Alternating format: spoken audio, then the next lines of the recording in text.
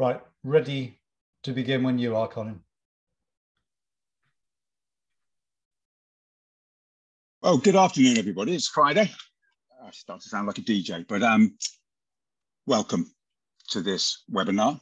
Um, we are going to be looking at the opt-out in England. Two years, the two-year anniversary. Now, we're working with the National Kidney Federation um, and the coordinating voice for Black and Asian mixed race and minority ethnic transplant donations, NBTA. So we are literally here to celebrate the change in law. And that happened, like I said, two years ago. Unfortunately, two years ago, obviously, it was in the middle of a COVID pandemic. So the impact and expectations were not particularly high. So today, we're also going to celebrate how remarkable that organ donation and transplantation continued through. It was a much reduced level, but it was really effective. We'll provide information from a local and national perspective, as well as highlight work done by voluntary groups. We'll go through an agenda. There will be information to be shared. Now, I'm going to briefly introduce the people. I'm just going to read the list, but they're going to actually um, to, uh, they will introduce themselves in more detail, but we have Anthony Clarkson, Dr. Mysore Phanish, Harpreet Matharu, Orin Lewis OBE, Alan Miller, Prafula Shah, and Kirit Modi. And on that note, I'll come back at the end. There will be opportunity for Q&A if we keep it um, moving swiftly. The agenda is to see the change, overview the change in law after the two years. From a hospital perspective, we're going to, Dr. Mysore Phanish will be doing that. And Anthony Clarkson, we look at the change in law after two years. That will be Anthony's piece at the beginning. And then we'll have a specialist nurse perspective from Harpreet Matharu. ACLT, Orin Lewis will tell us what he's been experiencing. The team Margot, Alan Miller, he'll be, give us his perspective. And Prafula Shah, Secretary of JHOD, will be there too. The panel discussion and Q&A will be conducted by Kirit Modi, who is the honorary president of the NKF and the NBTA. I will stop talking. As an actor, and that's really difficult for me. But um, today it's about our experts. So enjoy it. And Anthony, I'll hand over to you. Thank you, Colin, and good afternoon to everyone. And thank you for giving me the opportunity to speak to you all today. Um, it's amazing that um, we're two years on. Um, so next slide, please. And I put at the heading here, it's been a busy couple of years and now realise that that's probably the understatement of the century. Um, it's actually been quite a blur the last two years when I, when I look back and was thinking about it, uh, this. But it has been a remarkable two years for many reasons. Uh, of course, we had change of legislation uh, in the mid of the pandemic. Uh, and then we've had to work through the pandemic. And for transplantation, we had our ups and downs but we managed for deceased donation and transplantation to keep it going to about 90% of pre-COVID levels, which in fact was remarkable and due to the huge efforts of uh, all our partners across um, the, the NHS, uh, the third sector, all our partners out on the, the whole of the pathway um, to manage to keep uh, transplantation going at that levels. Living donation did reduce significantly during that period, um, particularly because of, obviously we had concerns around um, the impact of COVID for both the donor and, and the recipient. But I'm very pleased to say that that's now bouncing back very nicely too as we're recovering out of the other side of the, of the pandemic. In relation to um, the legislation change, um, the key thing for us was looking to can we keep um, awareness of the legislation in the community high during this time um, because of course the news, the media, everybody was focused on one thing, which was the pandemic. But as you can see here, we did manage to do that against uh, all the odds. And again, that was due to huge effort from many people here today and people across uh, all our partners, uh, the wider NHS to achieve that.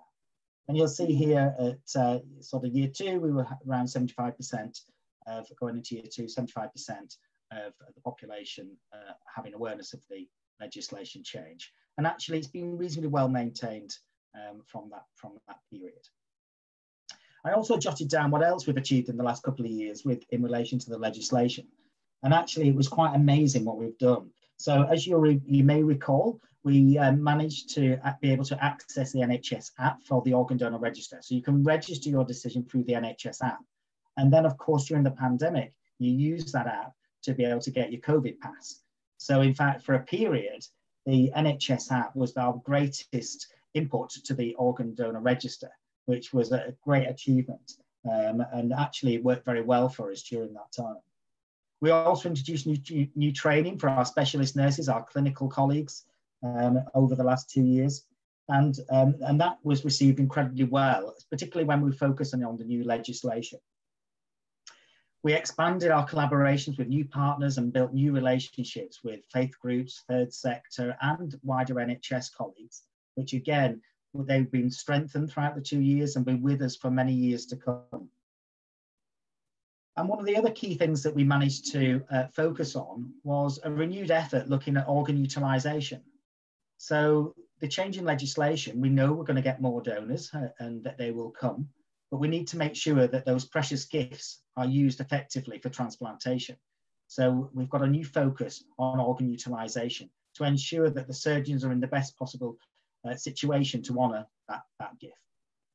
Next slide, please.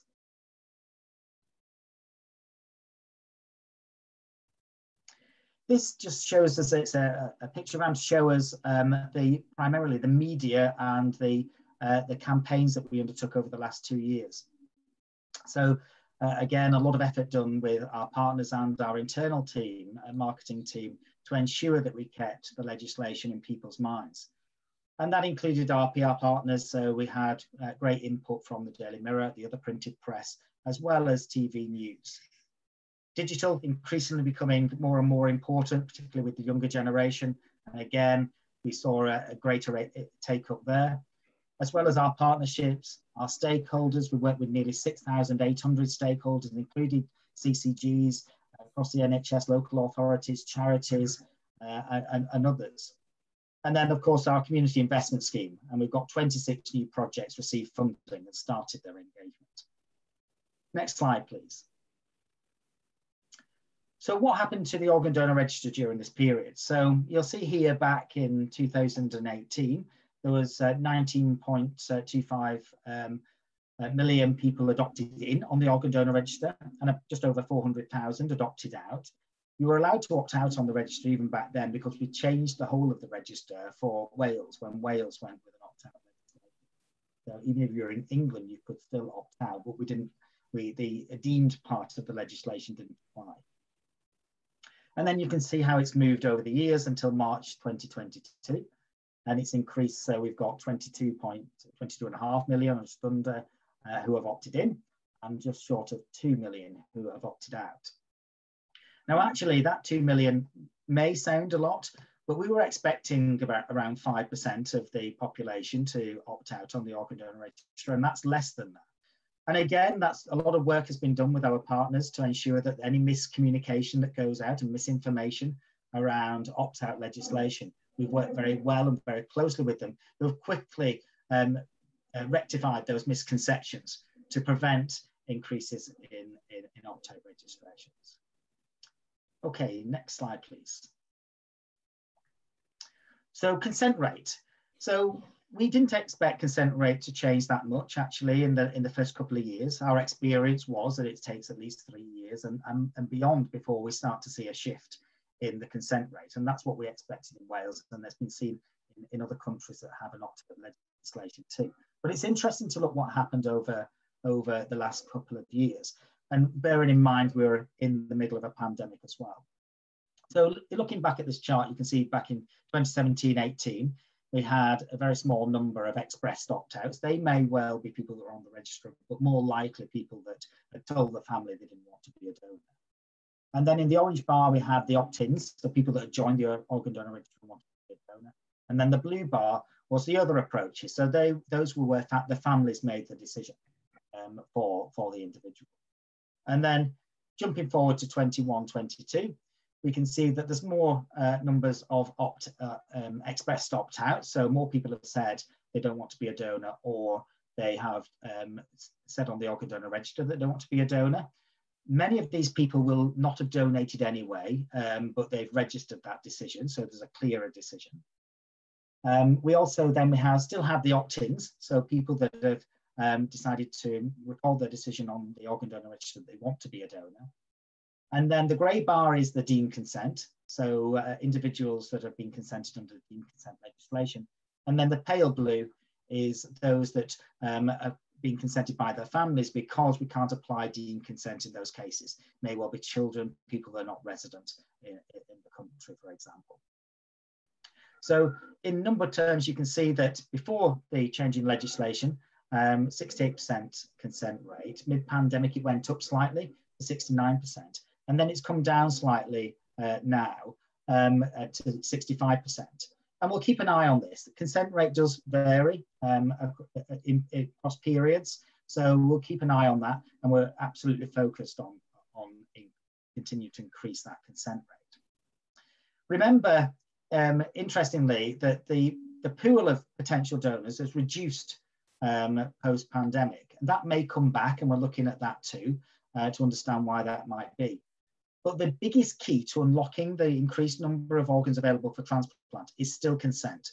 So our fo focus still needs to be on increasing the consent rate. And but bearing in mind, we don't we didn't anticipate and we didn't expect to see a change in step change in consent rate until at least three plus years into the changing legislation.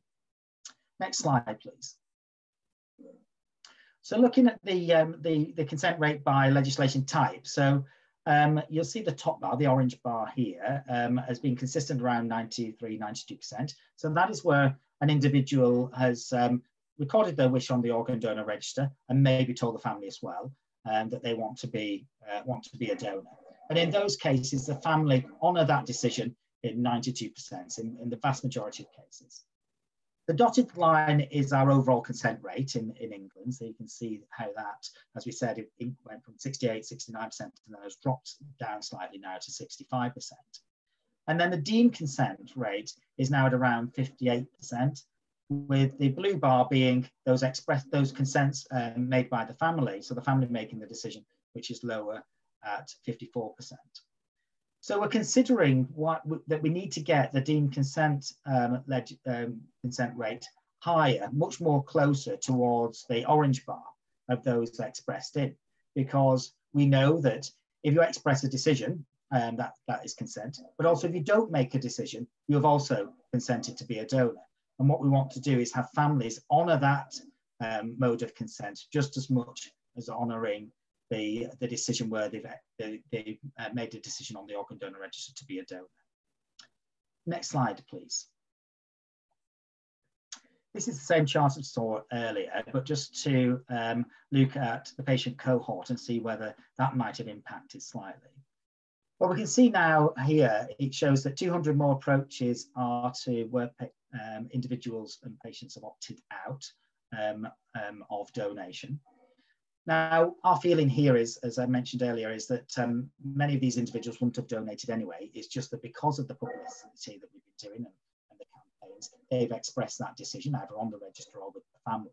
So actually, that's a good thing because families are very clear that that was what their decision was. We've seen uh, 100 fewer approaches where, they, where the individuals have opted in compared to pre-pandemic levels. Now, I'll come on to that, but we think that's probably um, because if you're pro donation and you understand about donation, you know that actually not to make a decision it means that you're a donor. So you don't actually have to express the wish. So we think that may have impacted as well. So we're keeping we're keeping a close eye on uh, on how these shifts may impact on the consent. Next slide, sir, please. So what we're going to do next? Well, we're keeping still keeping a close eye on the on the rates. We're looking at what's happening in Wales and the other countries because of course Scotland also changed to an opt-out legislation. Um, we know that um, in Wales the the shift in consent and given that it was much smaller numbers came year three onwards. So we're keeping close to that. We're also looking at whether those that are pro-donation um, and support organ donation and also are bought into the campaign and actually understand the legislation, I think it, we don't need to make a decision now because, well, by not making or recording a decision, I am a donor. My consent will be deemed. Um, and actually, we still want them to record their decision on the organ donor register they want to be a donor. continue to raise awareness around the changing legislation, particularly amongst our Black and Asian communities, because the consent rate still remains lower um, in, in, those communities compared to the uh, population as a whole. Um, and we're doing that through uh, further investment with our community investment schemes, and they've got some great initiatives going through those schemes uh, this time. We know that legislation is not the answer in itself. We've got to continue to shift the dial in many other areas of the pathway. We've got to maximize every opportunity um, for donation. And um, we're, we're, we're, continuing to do that, working across our, our, partners across the NHS. There will be a formal evaluation, and they're, um, they're mid doing that at the moment. So um, keep an eye out for that evaluation coming through. Um, we're getting an update on, on the progress through that very soon. Um, so, but there will be a formal evaluation done of, of, of opt-out.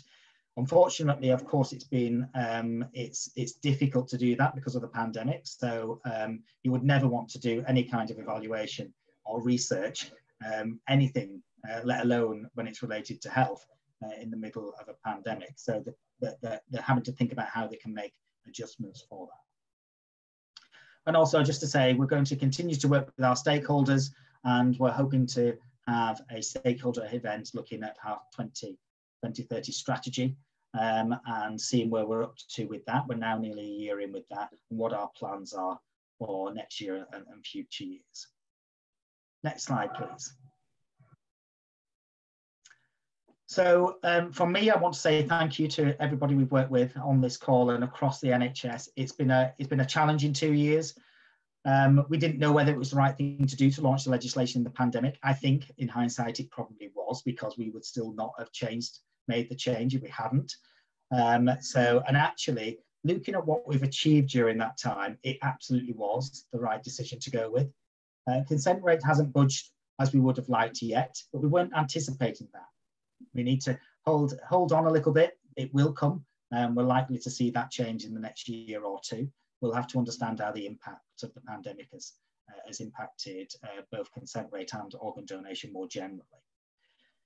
But had couldn't um, finish my uh, presentation without uh, showing a slide of our very dear friend Max and our hero Keira, who of course, without uh, those individuals, this changing legislation and the final piece in the jigsaw for organ donation would not have taken part. So thank you very much everybody for listening and I'll be here for questions later. I'm now going to hand over to uh, Phanish. Thank you.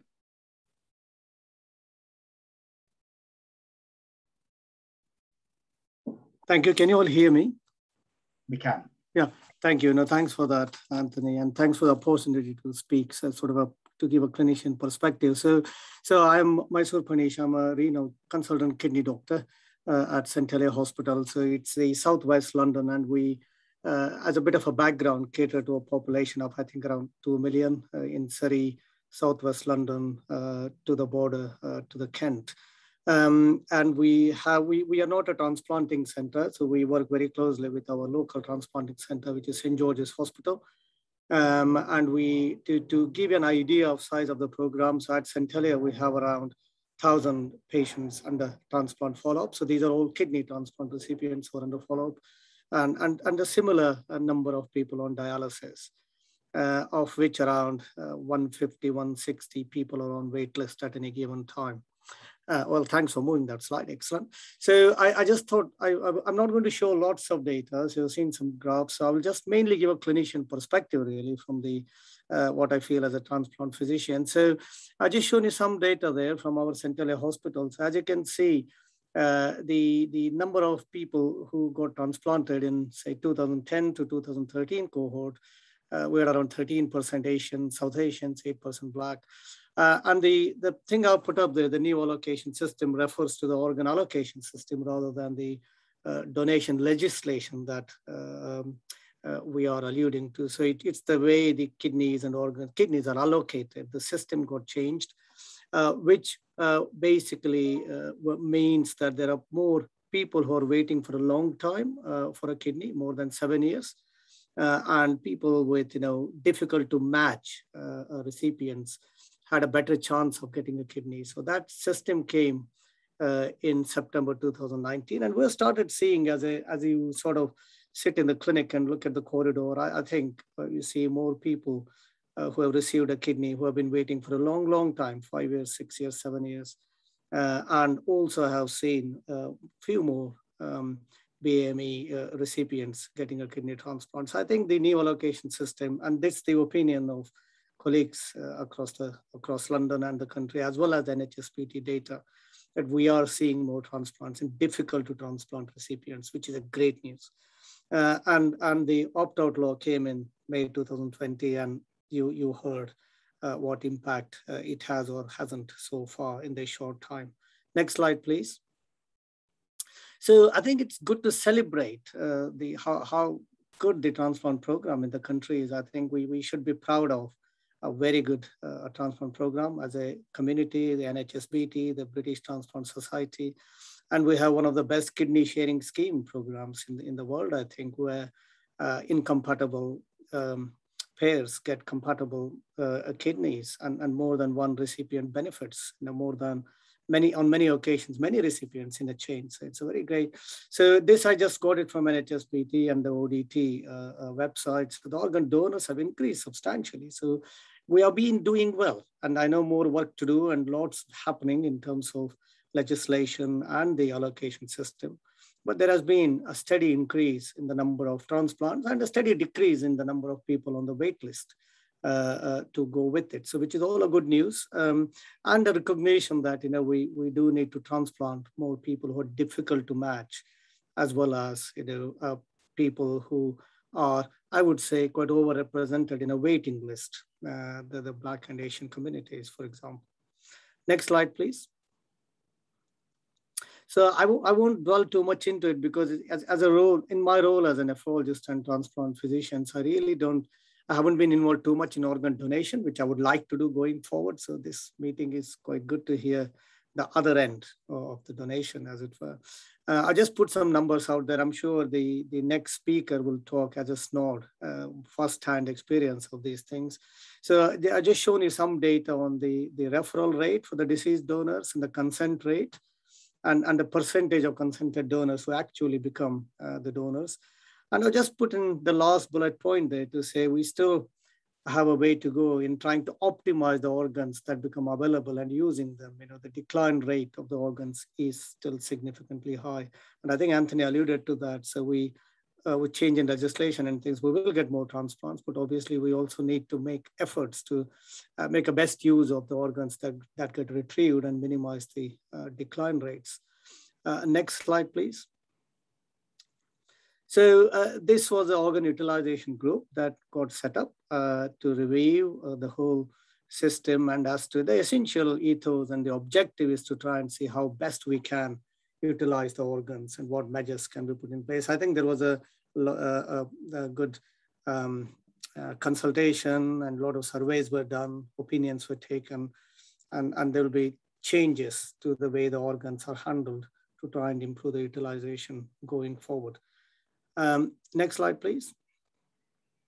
So this is some of my thoughts as a clinician and also the, the uh, when, when you discuss with various renal and transplant surgeons, uh, uh, these are the uh, points we believe will help in improving sort of donation. And, and you know, I, I, think the, the donation process for the deceased donors is probably long. Uh, as I said, I'm not directly involved in it, but again, uh, this is what I hear.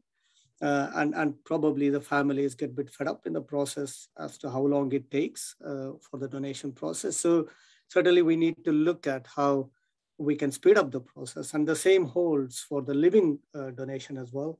Um, the, the, we have a target of achieving that within 18 weeks, for example, but, but there are variations uh, across the centers.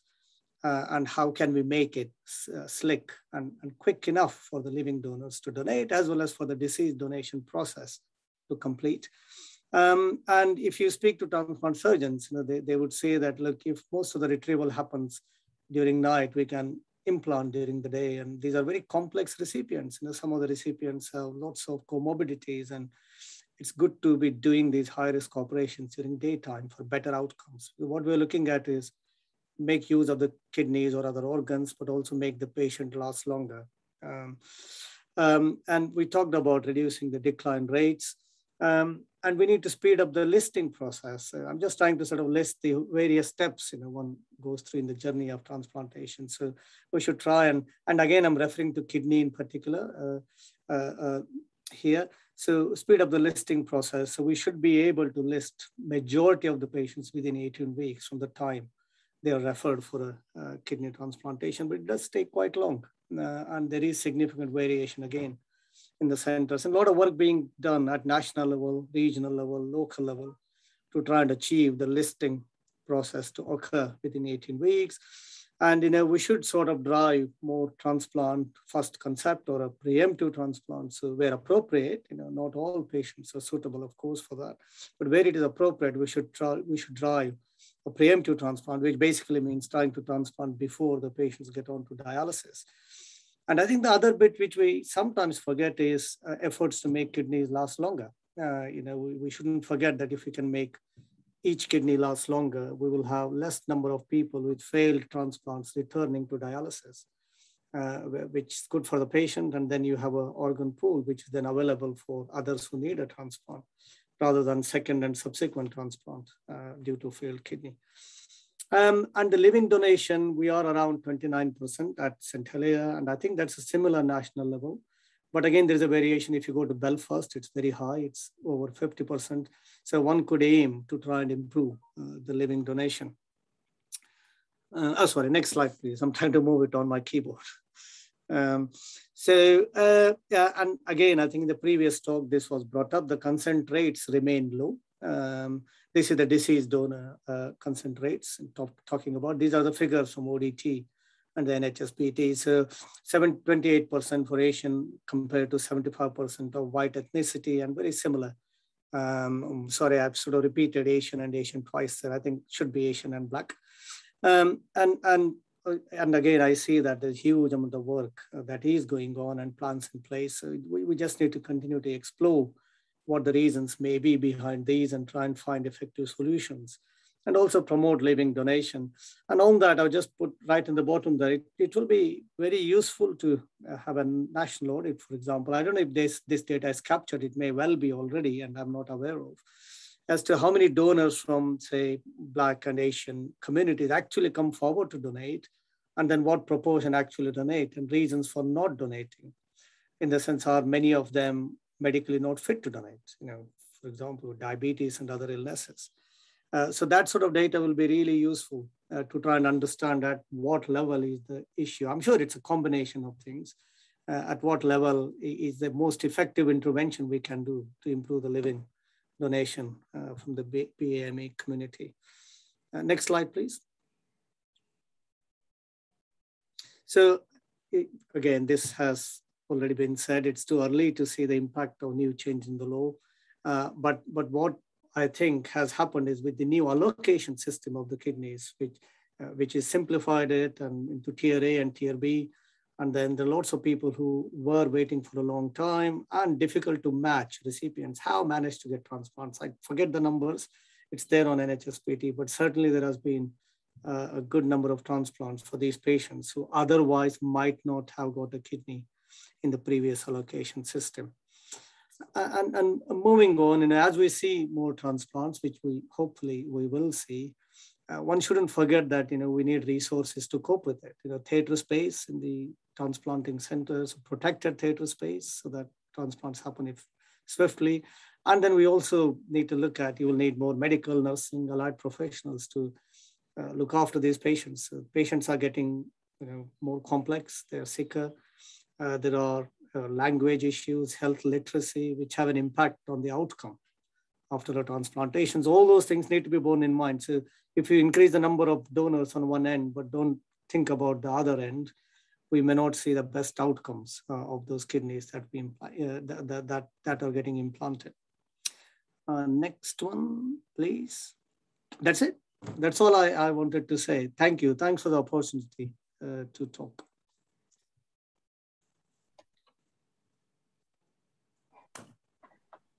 Good afternoon, everyone, and thanks. Thanks for that, Phanish. Um, thanks for giving us the opportunity to talk about the specialist nursing organ donation, uh, which is known as SNODS, for those that you don't know.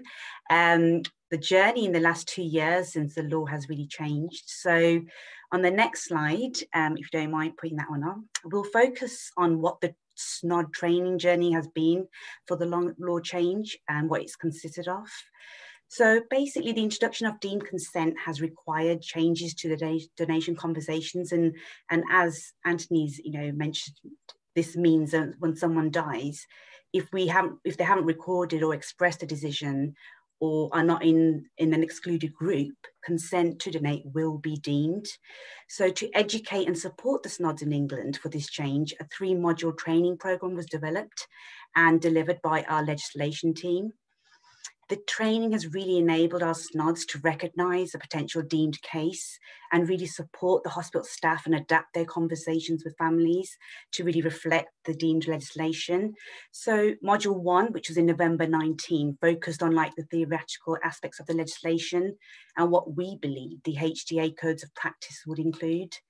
Um, module two started in Jan 20, and this was a practically focused module really building upon the current knowledge about donation conversations, enabling our SNODs to practice conversations using role play um, and sharing lessons from practice and really considering the specific needs of donors and their families, especially from diverse cultures and backgrounds. And finally, module three was designed as a consolidation module to build on both uh, one and two. And here the SNODs are able to critically analyze the legislation and explore language in which the legislation was explained to potential donor families. A recent research by Kathy Miller, who is the head of education in NHSBT and one was one of the legislation project leads, has evaluate, evaluated the training. So basically the training was done in in two parts, a desk-based research and an, an observation in clinical practice in the Midlands team. Um, Kathy was able to go out and observe 13 deemed situations uh, or scenarios, which actually included real life 10 formal deemed approaches. Um, and initial findings from Kathy's research are showing that the training, training for SNODs implemented was really successful um, in terms of knowledge of the legislation, confidence in planning conversations and discussing the legislation with families. And in addition, regular temperature check surveys were also sent during these modules. And a final step in the research was to send a survey to the whole SNOD workforce in England. And the main feedback we really got from our SNODs was they wanted more practice, um, which the organisation has really highly implemented. And I'll talk about this a bit more later on. And in, in addition, in Robert, uh, run up to the law change, we also introduced the, a faith declaration on the organ donor register. So basically, when people register, they can actually identify if their faith is important to them. So when this SNOD, you know, goes and checks the ODR, she, she they know to discuss this with the family and it's important to them. Next slide, please. We'll now look at um, how the donation conversations have changed and what we're doing now and what we do we understand. The SNOD role is complex and it's a sensitive balance of, of between supporting the family in at a very highly emotive time and providing information about the benefits of organ donation. So the research has shown that sometimes SNODs actually feel on a bit of a back foot when then because they're not they're not only educating about organ and tissue donation, they also have to educate about the law change. We know that there's good public awareness of 69% currently, unchanged uh, since November 20. And this gives us um, a lot of confidence. And in the BAME population, it's always almost as high, which is 55%. Um, and as you know, that deemed legislation supports those conversations where a patient has not expressed a decision. So the language that SNODs use in these conversations is continuing to evolve in the, in, in the two years.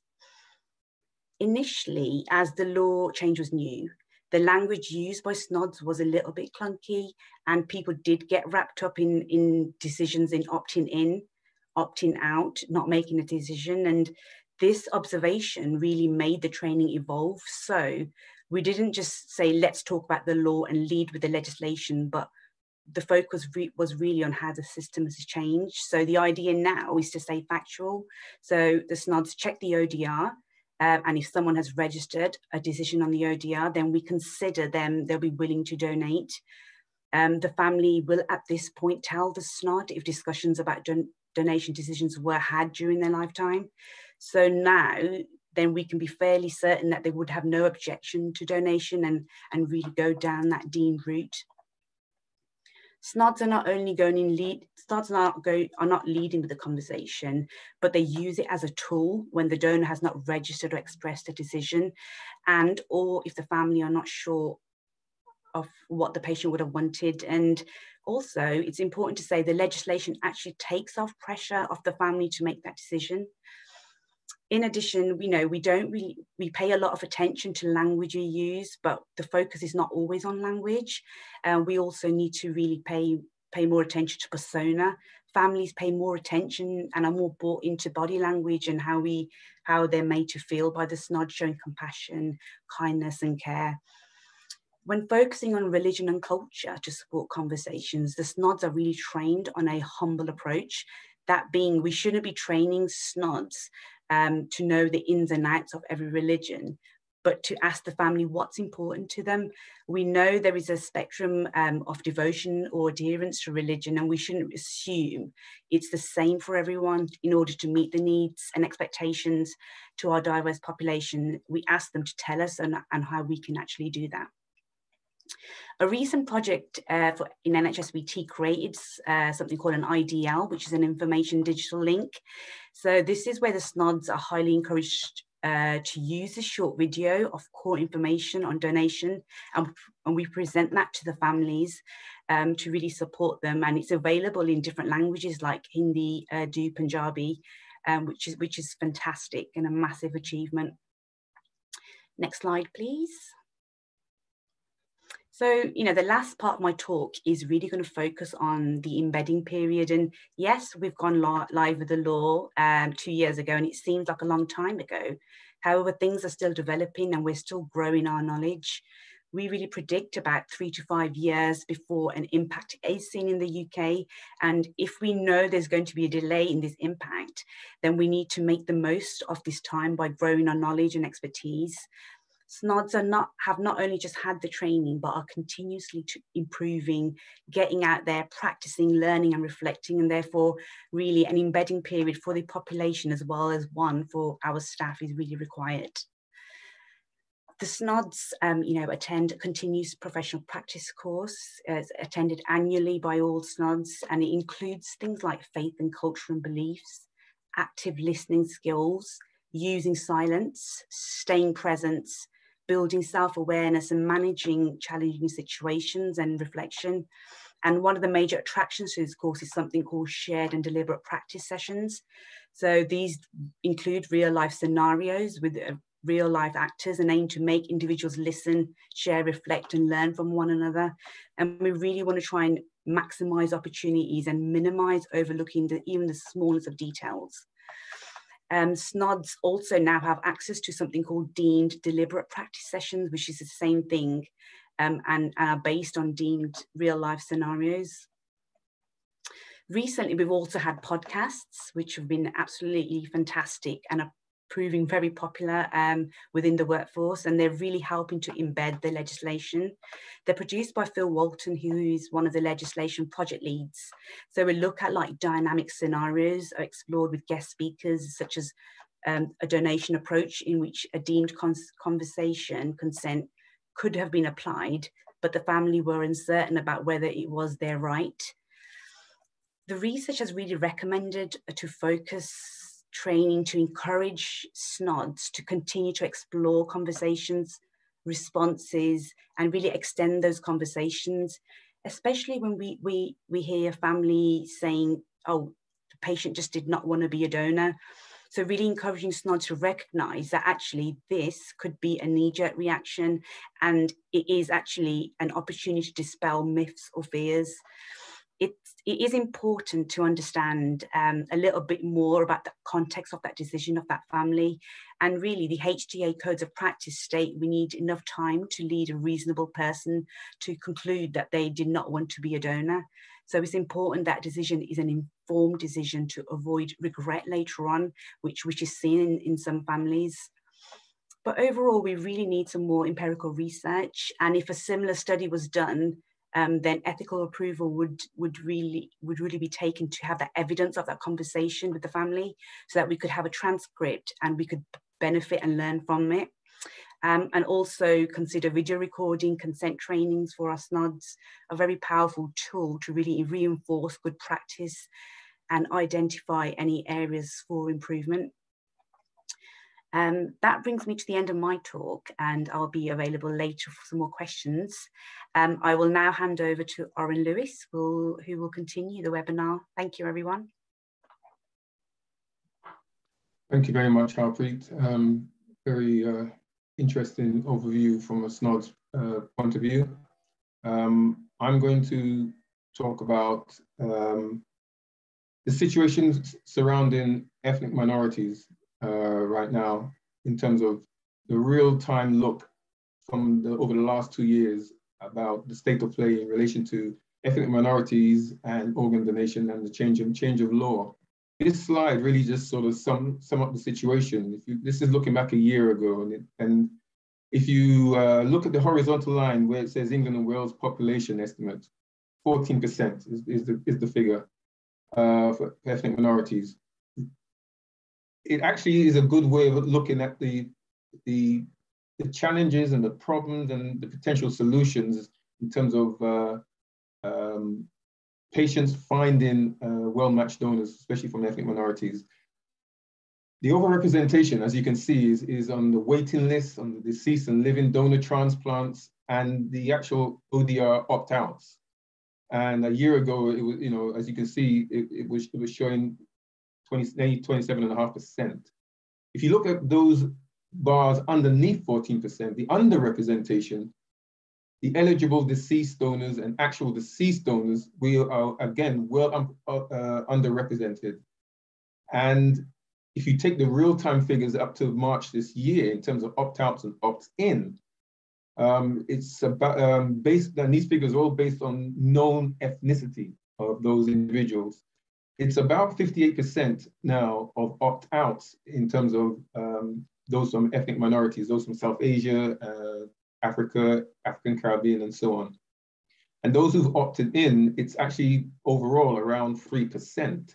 So we, we, we, we have, we have a, a, real sort of problem in terms of getting um, the awareness out on a broader, broader aspect, broader plane to ensure that families, uh, including culture, including religious uh, aspects, um, have this discussion, a real constructive discussion about uh, organ donation, deceased organ donation, and even living organ donation as, as well.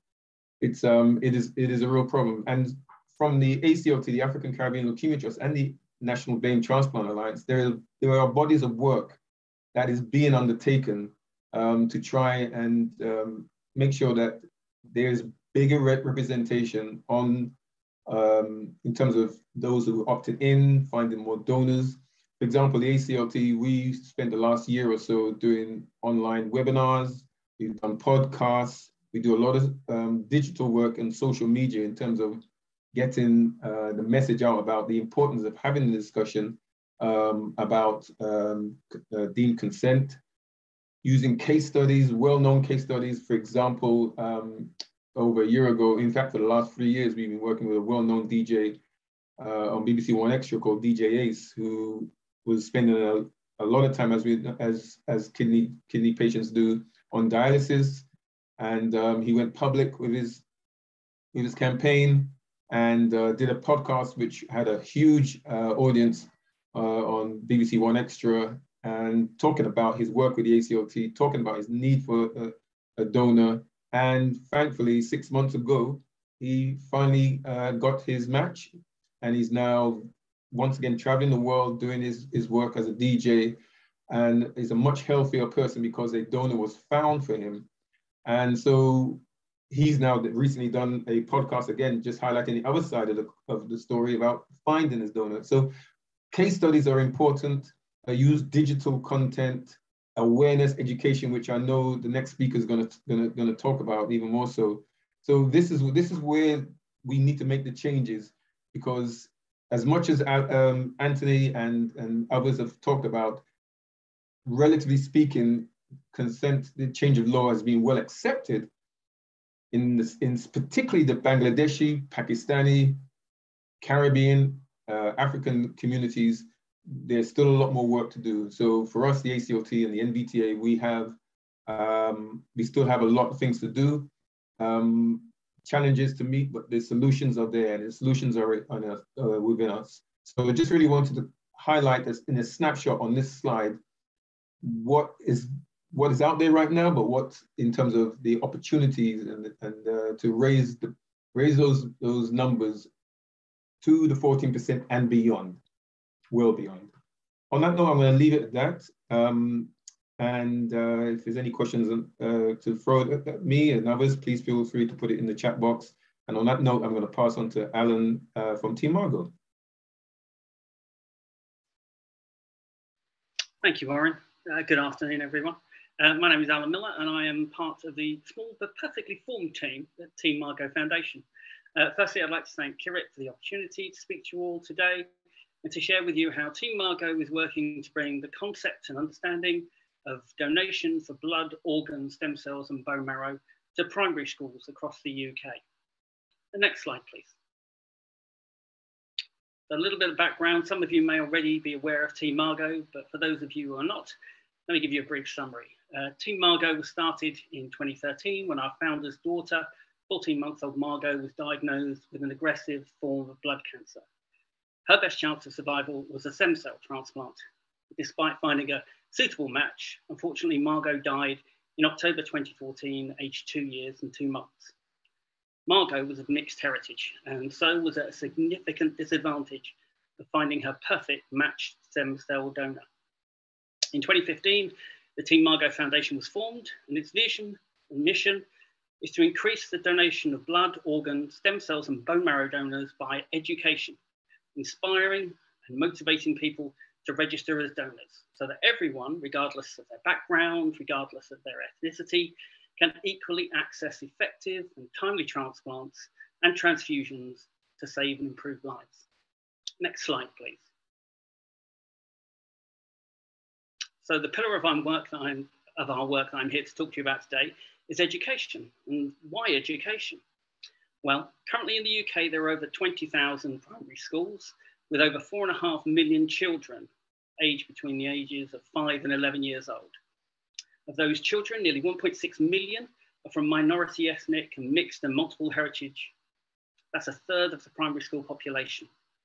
And we know that currently patients from these communities are disproportionately affected by the lack of having donors on the, some of the same communities on the registers, as Orin illustrated previously. We believe that by educating about donation from primary school age, we can sow the seeds to make the changes for the rate of engagement and recruitment in the future and to aid the levelling up of access and treatment for all patients and especially those from mixed and multiple ethnicities. Next slide, please. So with this in mind, in 2018, Team Margot, in partnership with our friends at NHSBT, created Giving to Help Others, its website and education modules. So Giving to Help Others is a resource for primary school teachers, written by teachers, for those same teachers, to inform and teach children about all forms of donation in visually engaging and appropriate, language appropriate forms. Since 2018, when we launched, these resources have been downloaded just under 4,000 times, nationally and internationally. Next slide, please. So what's in our modules that have been so popular? Well, we currently have six modules that cover key stages one and two from ages five to 11. There are modules for the wider school assembly, uh, campaign creation activity, and a PSHE lesson both of which have been approved by the PSHE Association. There's one on blood and circulatory system, a fifth, which is all about your organs, and the sixth, a short book written by a teenager about how we can all do something amazing. The Giving to Help Others website and its resources are listed in many places uh, across the web, including TES.com, NHSBT, and BBC websites. And we know that Giving to Help Others is a listed resource for teachers on several school lesson plans, and that it has been adapted by the Canadian Blood Service as part of their Green Shirt Day toolkit. A Green Shirt Day in Canada is a day dedicated to support the discussion of and encouragement for organ donation awareness and registration across the country. Uh, next slide, please. So one of our growing partnerships for Team Margot and Giving to Help Others is our work with the Orgomites. So these are a, a lovable, life-saving team of characters helping kids and as importantly, their parents and grown-ups to connect with and appreciate the roles of their organs whilst learning what organ donation is all about, as well as how to take better care of their health, themselves, each other, and hopefully the rest of the world. Already established in Canada through the Canadian Blood Service and across Greece in partnership with the Onassis Foundation, we are excited with what we can achieve together in the UK through Giving to Help Others, Team Margot, and the Orgomites. Next slide, please. So what are our next steps? Well, we're going to continue our objective to have the Giving to Help Others program and the subject of donation included in the primary school curriculum. It's already in secondary school and then the organizations responsible for informing students and children have the opportunity to go in. We want to send that, set that groundwork and foundation. We want to press and lobby the government on the importance of early years education for achieving change for increasing donation and transfusion rates, especially for those of Black, Asian, minority ethnic, mixed and multiple heritage who are currently so adversely affected. And to develop our work with partners to deliver our joint aims to children and of course their adults. Ultimately, it's to save lives and improve lives. Next slide, please.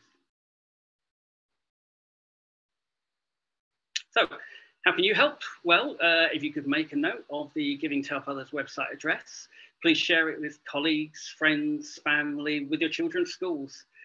And let us know what you think. If you have any comments or feedback, we'd love to hear. Next slide, please. So thank you for your time today. If you'd like to know any more or discuss anything about Giving to Help Others or the work of Team Margot, please feel free to contact me. My details are on the slide and they'll be available in the chat afterwards. And now I'd like to hand over to your next presenter, Prabhu Shah, Secretary of JHOD. Prafula, over to you. Thank you. Good afternoon, everyone. Um, just want to say a huge thank you to everyone for organizing this uh, webinar. And I am Prafula Shah. I'm a living kidney donor, secretary and trustee of Jain and Hindu Organ Donation Steering Group. And I'm also an NHSBT ambassador. Next, please.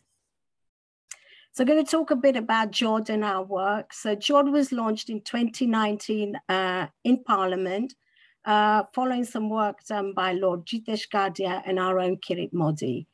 Uh, our role is to engage the Jain and Hindu communities and others in promotion of organ donation, but more recently we've also started working with blood and stem cell uh, donations as well.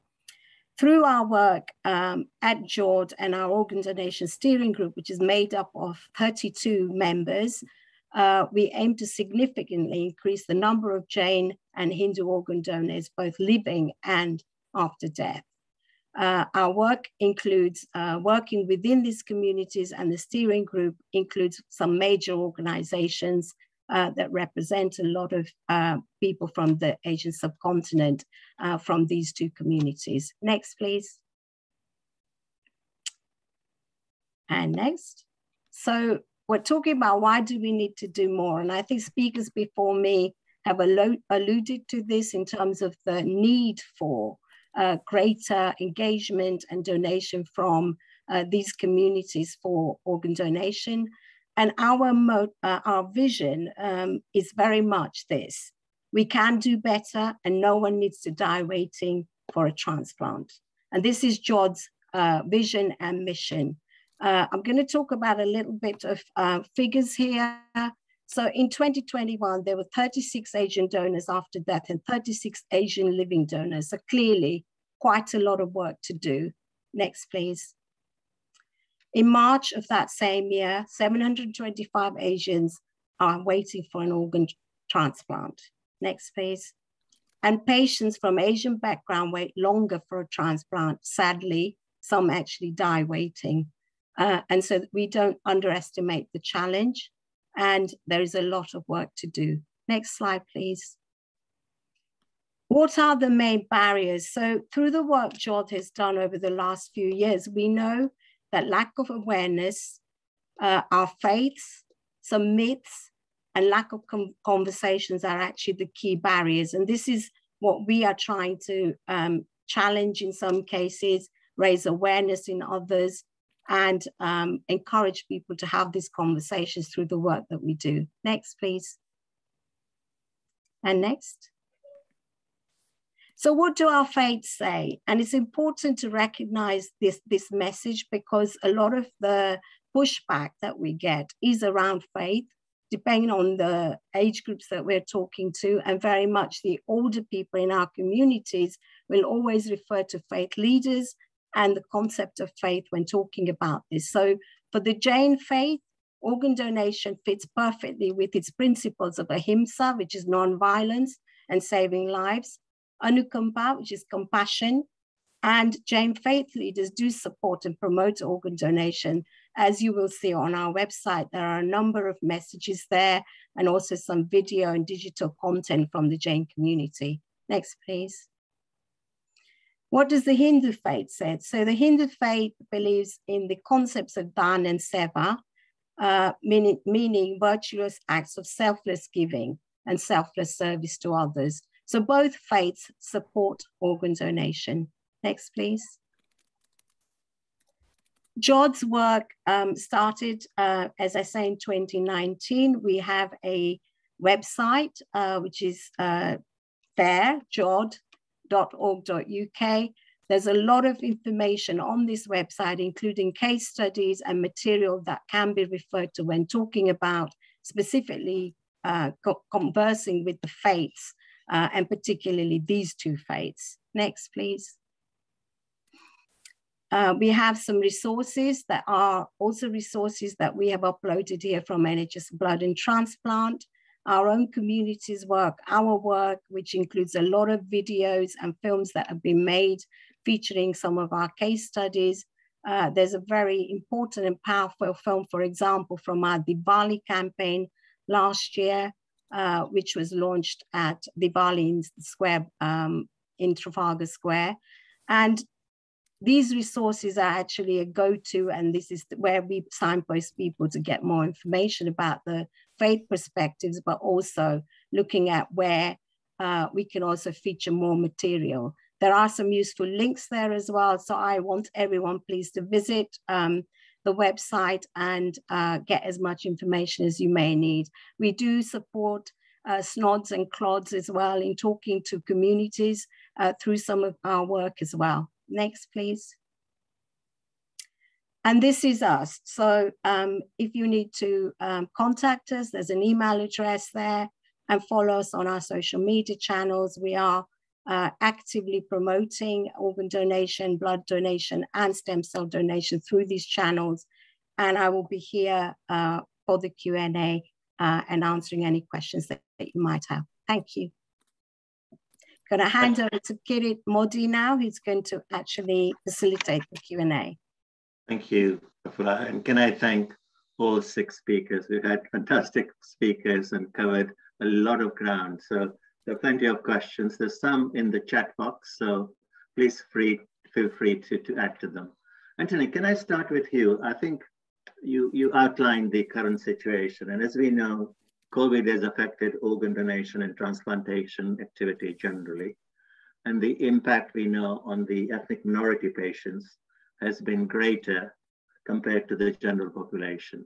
I was just wondering what plans NHSBT has to recover from this. What chance, Kirit, yes. What plans um, to recover, you know, because there's clearly backlogs and so on on there, yes? Yeah, I think um, I mean, we need to be clear, Kirit, that it's it's going to be quite an uphill struggle. The um, the waiting list um, during the pandemic actually reduced, and that was because many patients were suspended. So the transplant units actually took the patients off the waiting list, and now they're starting to put them all back on. Yeah. So we expect to see the waiting list to go up even further than it has now. So and it slipped back to around about to five years ago it's like it's, it's, it's almost as if we've lost five years um, work in, in reducing the waiting list. So I think um, we, we shouldn't underestimate the uphill uh, struggle it will be. However, we do have plans, Kirit, and I think um, you know organ utilisation will be one of them, and we've got some um, strong plans around that. Uh, and increasing consent, as we've said, is going to be another is, is a key to increasing the number of organs available for transplant. Now, in relation to Black and ethnic minority communities, um, again, it will be a combination of both, um, increasing the consent rate and increasing um, utilization, but also maximizing the opportunities for living donation. One of the reasons we combined um, deceased and living donation in the current strategy is because there's no way we can actually achieve uh, the rates of transplantation we want to do if we don't include living donation within the whole. So it's going to have to be a combined effort, I think, uh, Kirit, to uh, to do that. So of course there's a chance, Kirit, and we will we are taking every opportunity to maximise that chance. Um, and um, but it's going to be it's going to be tough. Thank you, thank you, Anthony. It's really helpful. And as you know, NBTA and NKF are very keen to work with you in facing these these quite considerable challenges we have at the moment. And we welcome that, Kirit. Thank you. Thank you. You want to turn to the hospital context. I think, um, can I ask Phanish and then Harpreet, really in practical terms, how has the opt-out law affected actual practice in your own hospital? So Phanish, if you could start off and then, then Harpreet maybe. I was, I was hoping to just pass it on to Harpreet, to be honest. um, well, the, uh, it's, uh, the last two years has been COVID really. So we, uh, it, it, the, the, uh, the change in legislation sort of fell with COVID and our, as, as we all know, nationally, the transplant activity went down and our own center, we saw actually slightly better. Our activity went down by 25%. Mm. Uh, and, and we kept the program open for vast yeah. majority of the time. And if I remember correctly, from March 2020 when it all hit very badly till about July, August, we, mm. we had to suspend. Then we sort of reopened in a phased manner. You know, we made the list bit restrictive, chose the candidates, you know, bearing in mind COVID. So I really can't tell you whether the change in legislation has made any difference to what we are doing in the clinics in terms of numbers. Mm-hmm. But what I can tell you is that we, we with change in the allocation system, uh, we are certainly seeing the long waiters, you know, people who have been waiting on dialysis for more than six, seven years. Yes. And, and, and, and the patients who are otherwise difficult to match. And, mm. uh, and, uh, and, and a proportion of them, not all, proportion of them are from ethnic minorities. I see that more of them have got a transplant. Hmm. Um, mm. and the living donation went down obviously in the last two years and it's picking up. We are sort of back to, uh, our list is now back to what it was pre-pandemic. Yes. And the, and the, living living donors in the World Cup is coming up as well. Uh, I can't, I, I did speak to our intensivists to see uh, what have they seen. Mm uh, in response to change in legislation. I, he, his uh, thing was again, we are not a trauma or a neurosurgical center at St. Heliers, so we mm. don't see get many deceased donors. Sure, no, I understand that. Yeah. Trauma or a neurosurgical center. Uh, he hasn't seen any obvious change, okay. but probably they will start seeing in the next few years. Okay, no, no, I, I can understand that. But and Harpreet, I, thank you. Harpreet, I know you you based at Birmingham Hospital, aren't you? Uh, what what what changes have you seen? Yeah, so I'm based um, at the Queen Elizabeth Hospital in Birmingham, and really the actual practice for the hospitals hasn't changed. So, you know, units are still highly encouraged to refer all patients early and ensure that a SNOD is in conversations, because as you all may know, having a SNOD in conversations produces a better consent rate. Um, so that hasn't changed. We have seen you know, more earlier referrals. Our referral rate has gone up and more interactions. So if clinicians aren't sure about law changes, they're, they're paging the specialist SNOD and that's equating to a referral that might not have come yet, but is in the pipeline due to their questions being asked. So there's a lot more interaction and, and buzz um, about, about the um, about the law change. The practice for SNODs hasn't changed largely you know, SNODs are still taking referrals, they check the ODR, attend timely and support those conversations. Um, but the only thing to add to that is now SNODs are actually um, using, making sure that they assess the patient if they're, they're going to be suitable for a deemed, the patient's going to go down the deemed route or not. So that's the only thing that has changed by looking at the criteria. Mm-hmm. Um, but in general, little pockets of change, but in you know a, a, a big buzz on the, on the hospitals, um, especially with our clinicians. Okay, thank you. And I know we all know that the hospitals are under huge pressure even now. Yes, we hear about that almost every day in the media and so on. COVID is not gone. And so I'm just going to ask again to both of you, what support you think you need, what additional support you need to, to, to maximize the impact of the change in law. And Phanish, you were talking about theatre times and so on in, in your talk, for example.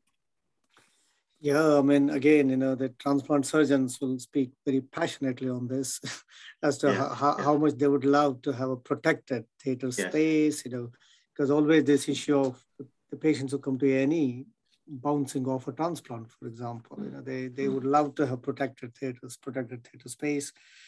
Um, it, there's, there's no easy answer. I mean, the, the, the hospitals and trusts are stretched. You know, the obviously the other surgical emergencies are important as well.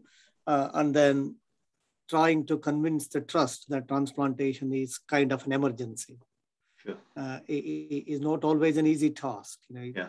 for other specialities, you know, who don't sure. see it as an emergency. Yeah.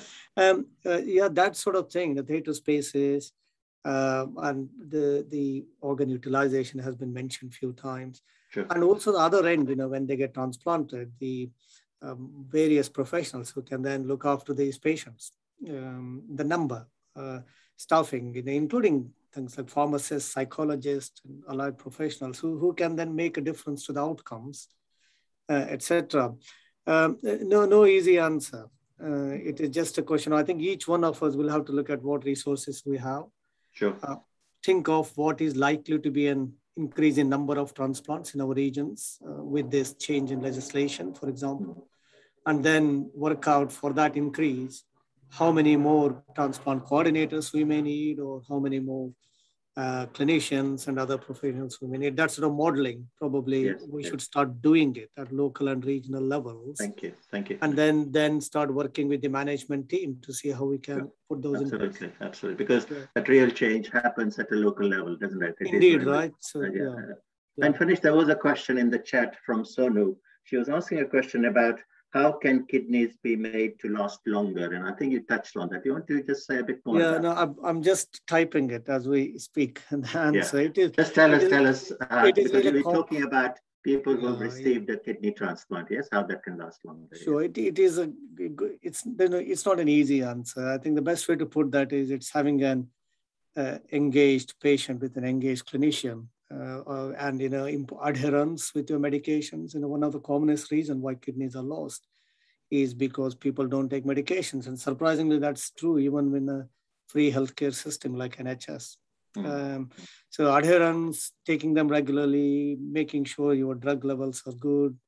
Other useful things like you know weight, diabetes, blood pressure, healthy lifestyle, exercise, staying well and then the other the hard end of it science end of it you know designing and participating in clinical research you know which looks mm-hmm. at chronic rejection and scarring in the kidney which then leads to kidney failure sure, sure. Um, so it's it, it, these are the things there are things that patient can do uh, these are things the physicians can do and then the research it's a combination of all the, no no no i think uh, that could a...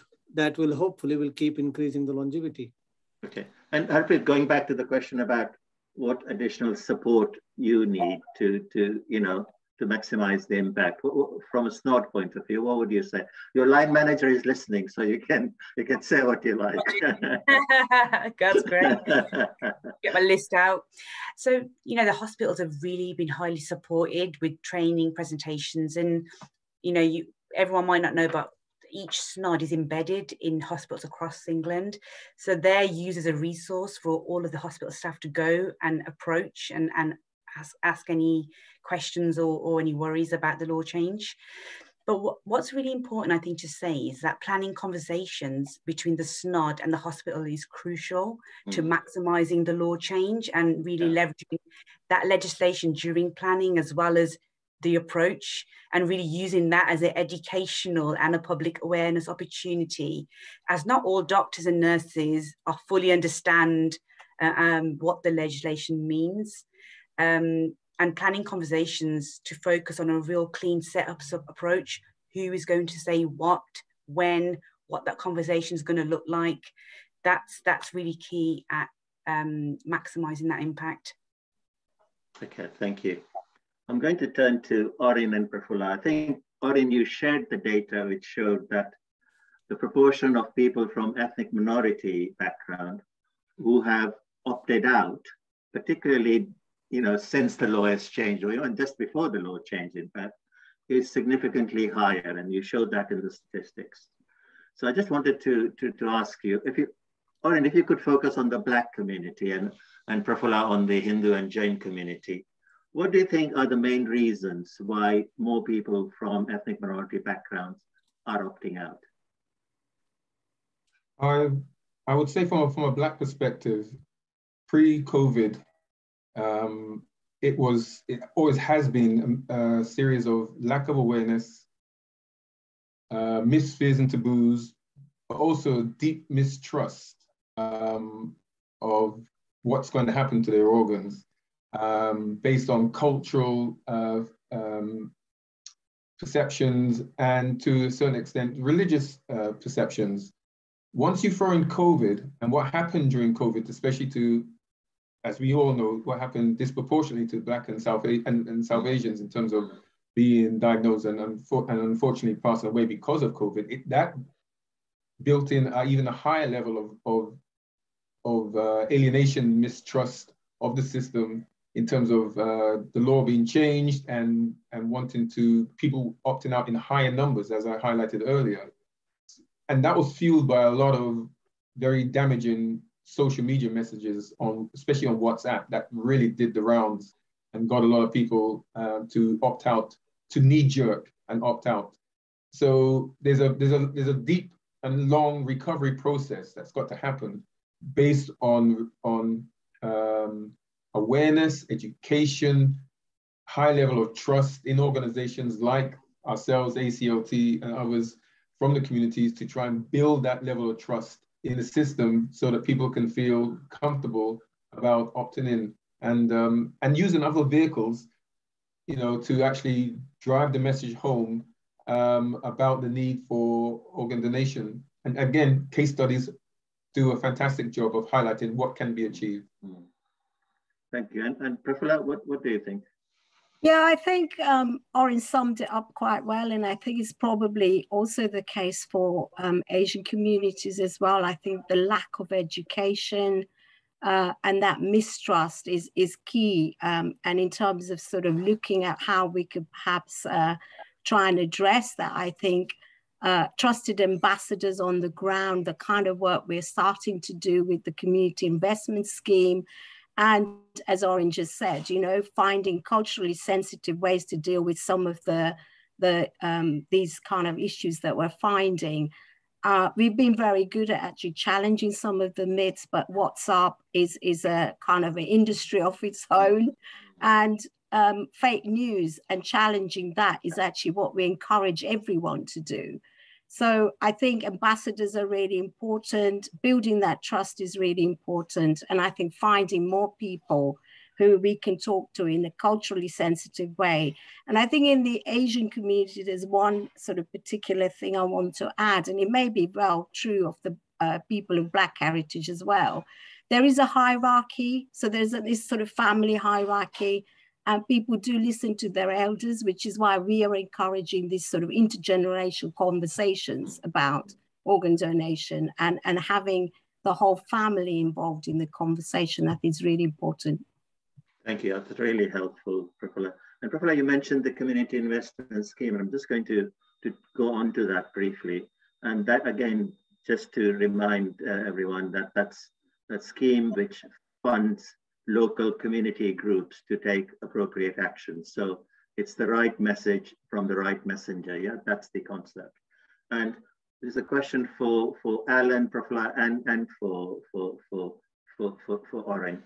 Really, that it's been established now for a number of years. Yes, and I think overall it's it's working. The model is working well. Now, just thinking about how can that scheme be developed further.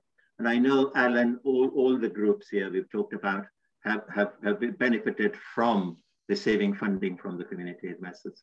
So what do you think, how can the, the scheme itself be improved? Um, uh, well, um, I think the, the inclusion of stem cell into the community investment scheme this year is, is a very welcome addition because uh, it hadn't been addressed uh, in the past. So, you know, it's, it complements the wonderful work already carried out by the other organisations in recent years under the scheme. Um, what what we would like to see uh, in the future is to see funders supporting strategies that have both kind of short and long-term aims and objectives. Um, you know, and this feeds back certainly for Team Margot into our plan to embed donation in younger audiences. Yes. So reflecting on what Orin and Prafula have just said about education and where it starts, um, you know, it, it, it's so important that it's done in the households and in the communities but where we can make some of those inroads um, quite immediately if we had the opportunity would be in schools and at curriculum. And you know what we want to do and what we continue to do is to embed donation within the younger audiences, sure. so that it's openly discussed, discussed in schools, in families, in a manner that will inform, encourage them, um, and that, that will feed into that longer term objective that everybody wants here, so that there are more donors uh, on the register for blood stem cell um, organ for patients, particularly of minority mixed uh, multiple heritages. Um, and, uh, and we, you know, we think that the government funding should be directed to charities and organisations that are seated in the heart of communities that can make that difference. Um, and by providing that finance and support, as, as has been started by the Community Investment Scheme, um, it will allow each one to build on the foundations they already have uh, within those communities and, and change the landscape. Okay, thank you, Alan. Um, Prafula? Kieran, can I can, Kieran, can I just quickly add to that? One, yes, one other quick thing. Yeah. Is also also to utilize different methods and means and ways to engage the subject matter of deceased organ donation. And in many ways, you can utilize blood donation, stem cell donation, living organ donation as a means and a ways to preempt having that deeper conversation about deceased organ donation because that is the most taboo of, of all. And if you can, if you can get a conversation and um, get people registering as blood donors, they will consider other forms of donations, and you can come away with blood, stem cell, organ, living, deceased, and suddenly you get a buy-in because we must appreciate our limits and uh, the barriers that are out there culturally and religiously. And sometimes you got to do a diff- you got to attack it in a slightly different way in terms of the education and the yeah. approach. No, that's very very important point. Thank you. And in fact, I think Orin, you've answered one of the questions. I think Emma was asking about blood donations. So I think you you've covered that. Um, Prafula, on the community investment scheme, your views on how, how we can develop that. So I think um, both Alan and Orin have kind of touched on a couple of things I was going to say, but I think that the important thing is perhaps to look at how we can encourage um, media to talk a bit more about this from the perspective of the, the communities that we're trying to reach out to. There's a lot of investment in, in doing this. A lot of really good work is happening on the ground by organizations that have been funded. But I think it's really also important that we get to be seen in the media. We start a debate, we start talking about this a bit more. And no one likes talking about death. I mean, I, I, I think absolutely no one wants to talk about death. It's not a subject people want to speak about. So I think we can talk about that, but also let's talk about living donation a bit more. We're not currently. So um, I think those those things are really important. Yeah. And I think I think I agree with you. I think it's, I think the, the experience over the last four years or so in community has been remarkable. And I think, Andrea, mm. that's one of the things I think we perhaps need to shout more about that and, you know, get, get more people And, you know there's what I think at least 50 organizations have done something you know over the last few years from all communities right across across England in a sense and uh, so I think perhaps that's one of the things we need to talk more about it and the lessons we learned from that. Um, we're nearly coming to the end of this. There's one question, Harpreet, this is I think for you, it's come from me and he's asking about if you have an illegal immigrant who doesn't have any family in this country, how would they be able to donate organs? So is this, if we were looking at a deemed consent, they wouldn't be um, suitable because you have to live in the UK um, more than 12, 12 months. Yeah, yeah. Um, it's, it's really difficult because when we do we do find patients who haven't got a, a family or anyone a next of kin and we really do rely on really important information for their past medical history, uh, travel history, um, sexual health history to make an assessment. So, um, you know, they, they would be able to donate, um, not through the, the deemed route, but we'd have to really gather information from a friend, from a family member, or a, or a GP um, to, to gather that information because it's really crucial um, to protect uh, the recipient. Um, and you know, in addition, we we send all the bloods um, that that that come back, so that's the safety measures are there. Mm. But we really need that that extra information from the family and friends um, to, to add to our assessment. Um, and when we register the donor, it's it's it's putting all that information for the recipient centres to see. So yes, they can but we just so it is possible addition, additional information. Yeah, of course, of course. Thank you. That's really helpful. I'm going to finish here by thanking all the all the speakers for fantastic answers. And Colin, can I hand over to you, please, to conclude the webinar? Thank you. Well, thank you. Thank you so much, Kirit. Um, that was uh, absolutely mesmeric. So what I got from this was over the last 10 years, our organ has uh, donors have increased by 56%. We need day-night process. We need to be preemptive. We need to collect data, ascertain living donations. SNODs, interesting. Role play, art, conversation, explore conversation, consent training. Then we come to the orgamites. We have the children. Now, this really exciting. I saw it flash up. Children are change makers in families. And that, I think, is really, really key and, that, and they were talking about a third of that population of primary school age are of mixed heritage, black, Asian, ethnic background. So that is a huge resource. And it seemed, I heard very clearly that myth seems to outrank our values through faith. So Prafula spoke of the time we're in, the, the fake news time. So I sort of feel that's something that people we've sort of glissed over, but this is a it's quite a cynical time I've found for people when I've been arguing with them over COVID within my own community because people have lost trust. And I think it's, this whole conversation also shows how we have to regain that narrative and regain trust. And I think through our young people and through our, our family, and it does affect everybody so the grandparents talk to the children, grandchildren, and hopefully let's destroy these myths. It's been the most extraordinary uh, webinar.